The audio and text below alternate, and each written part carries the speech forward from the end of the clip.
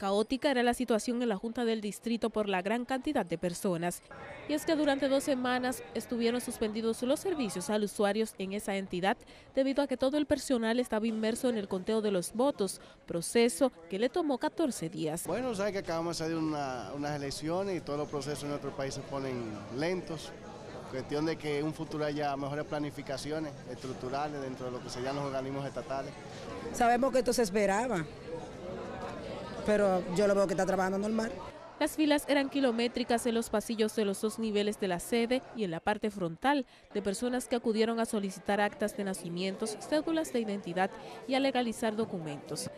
Diariamente esa oficialía recibe en promedio 2.500 personas, cifra que fue superada en las primeras horas de la mañana. que veo que, está un poco descontrolada porque era de aquel lado que uno iba a legalizar y ahora como que no sé si es que están eh, remodelando aquí, pero están desbaratado todo. Hoy está muy lento, hay muchas personas, pero yo espero que se va a resolver el asuntito en unos minutos y es que fue el pasado sábado que esa Junta Municipal ofreció el último boletín electoral luego de finalizar el proceso de escrutinio y validación de actas. El presidente del organismo, Santiago Sosa, informó que el Pleno se reunirá para evaluar el proceso y posteriormente rendir un informe a la Junta Central Electoral.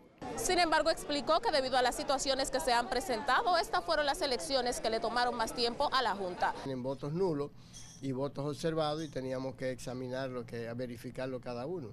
Y a eso se agregó las 674 colegios que llegaron sin acta, que tuvimos también que hacer un examen de esas actas. Tania Nivar, Informativos Teleantillas.